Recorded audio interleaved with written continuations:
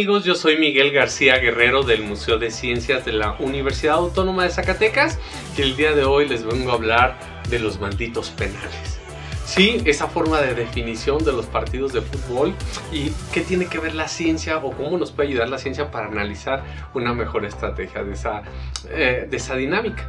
Y para todos es sabido que a México pues nos asusta mucho llegar a definición por penales porque hemos tenido malas eh, eh, experiencias en México 86, en Estados Unidos 94, todavía en el Mundial de Alemania 2006, pues nos nos parecía que nos íbamos a ir a penales contra los argentinos y yo llegué a escuchar personas que decían mejor perder ahorita y no irnos a penales porque nos va a ir peor.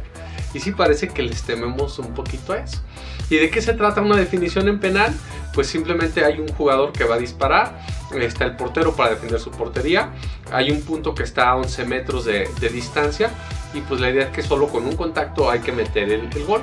Tienen 5 intentos cada equipo, y el, que meta más en esta tanda pues es el que gana y va a poder avanzar. Obviamente también en los partidos regulares, cuando se comete una falta dentro del área, sea que le den una patada a alguien o que metan la mano, pues también hay un tiro penal.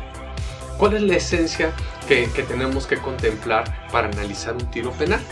Resulta que si tomamos los datos de ESPN Sports Data, eh, un tiro promedio eh, de un penalti en un campeonato mundial de fútbol lleva una velocidad de 110 kilómetros por hora.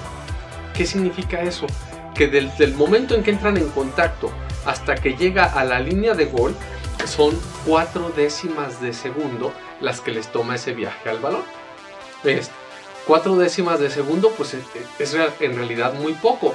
Eh, una persona promedio tiene tiempos de reacción de 25 centésimas, 30 centésimas de segundo. Los deportistas de alto rendimiento están un poco abajo de eso.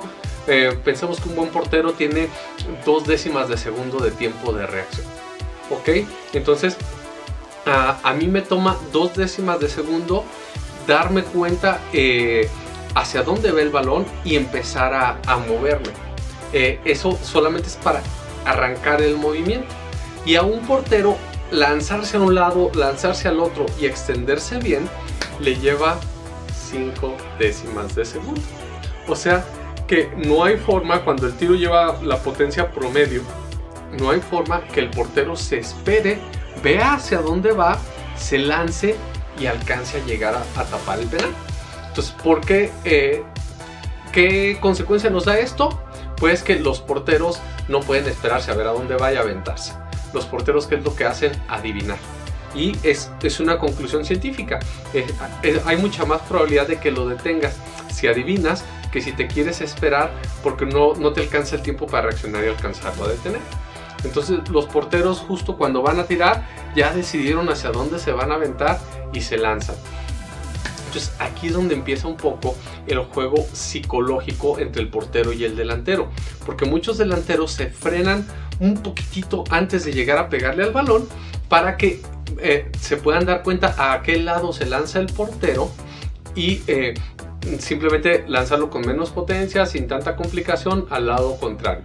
Y hay porteros como de repente lo hacía Jorge Campos, que cuando van a lanzarse en un penal, toman impulso hacia un lado como si se fueran ir de ese lado y se avientan al contrario para jugar también ahí con la psicología del, delantero.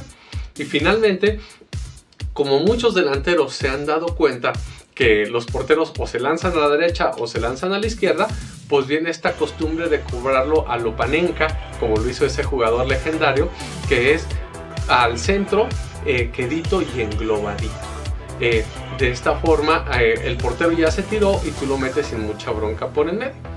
Pero ¿qué pasa? Se empieza a hacer mucho más popular el estilo de cobrarlo a lo panenca y psicológicamente reaccionan los porteros, se empiezan a adaptar, entonces ya muchos porteros no adivinan, sino que o adivinan a que se los van a tirar al centro.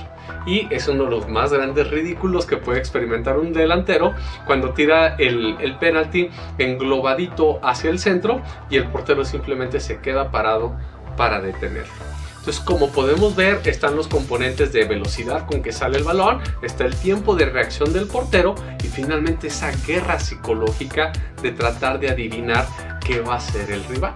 Entonces, si se dan cuenta, el, a, a pesar de que suena como algo horroroso, pues resulta un juego de estrategia muy interesante para analizar desde la ciencia. Nos vemos pronto amigos.